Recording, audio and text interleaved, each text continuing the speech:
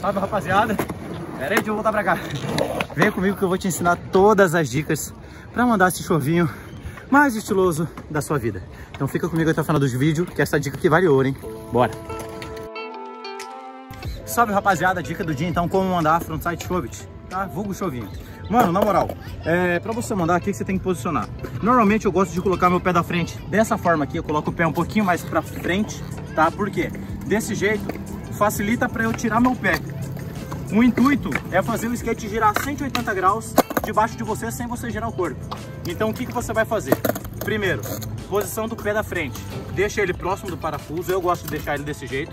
E o outro, quando eu tava aprendendo, eu deixava ele bem aqui, ó bem aqui, nessa beiradinha aqui mesmo, ó. Isso, vem aqui, boa, aqui, ó, bem aqui. Toma. Eu colocava o pé bem aqui para facilitar essa puxada.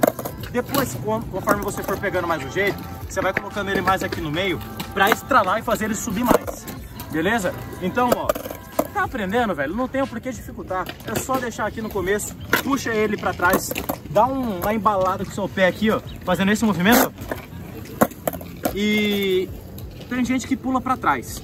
No começo eu pulava para trás para tentar cair em cima do skate. Vai ser normal você fazer isso. Você tá aqui e você faz isso. Pum!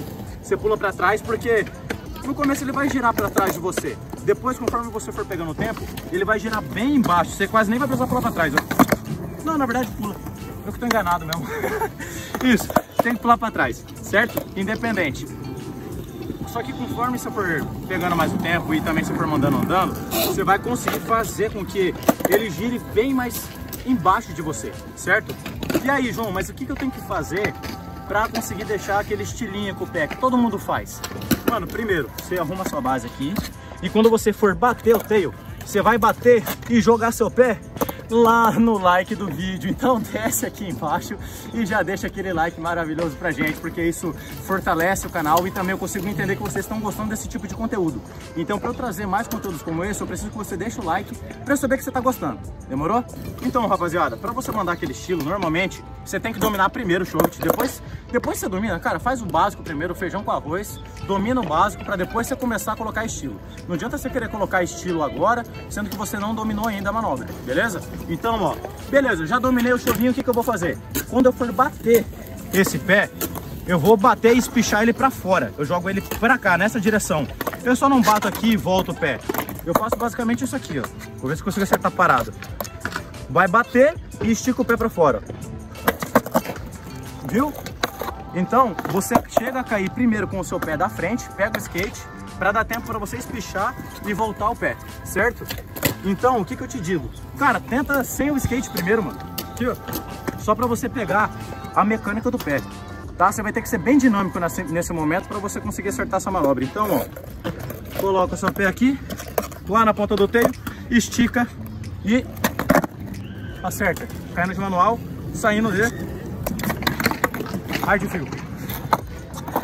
E detalhe, pessoal, é mais fácil você acertar essa manobra andando, tá? Não precisa ir rápido, cara. Se você for rápido, vai exigir mais técnica de você. E como você tá aprendendo, vai mais leve, vai mais devagar, não seja um louco da cabeça para tentar ir no grau, beleza?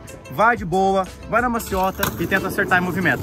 Depois que você tá acertando em movimento, você pode aplicar ela num gap, pode aplicar ela num, numa rampa, pode aplicar ela no solinho mesmo, numa linha, que é muito interessante você acertar porque é muito estiloso.